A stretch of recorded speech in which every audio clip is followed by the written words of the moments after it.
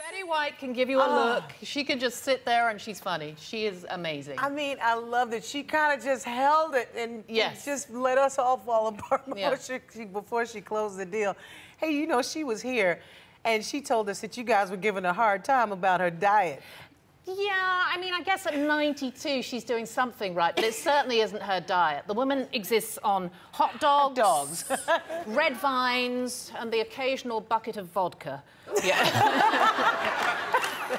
Why would you want to mess with that diet? I know. I, hell, when That's I'm 92, that's